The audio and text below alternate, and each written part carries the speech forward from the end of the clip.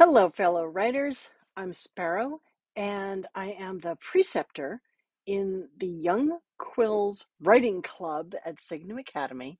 This is for writers in second grade, third grade, fourth grade who are learning to shape a story. We talk about character, we talk about events and planning ahead, and mostly we have a really, really good time. The format of our class is once a week. We get together for about an hour. We play some word games to get ourselves warmed up.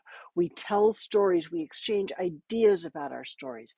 We get advice and encouragement on our stories. Always positive encouragement. Whether your medium for creating your story is written or keyboarded or uh, or spoken or even built out of arts and crafts materials, whatever your story is, we're going to encourage you. There's a weekly theme, uh, uh, beg your pardon, there's a monthly theme.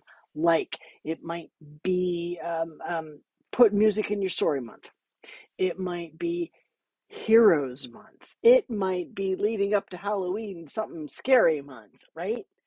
And then after that hour of interactive activities and building our stories, including a little writing time, later in the week, you'll get a half hour, which is full of writing prompts based on our discussion. I will make that video that you and your family can watch it at your leisure. You can take as long as you want. There is no homework in Signum Academy clubs, but I find that as writers, we're going to be writing anyway, right? So I've sent these prompts that you can listen to five minutes and then pause and then see if that inspires part of your story. Work on that a bit and listen to the next prompt. And maybe that will not work for you. And then you listen to the next prompt and maybe you work on that. So it's an hour meeting in person and about half an hour, but you're stopping and starting so you can spread it out over a couple of days. It's a lot of fun. Then, when we get back together, we'll talk about where our stories took us. Because you know what?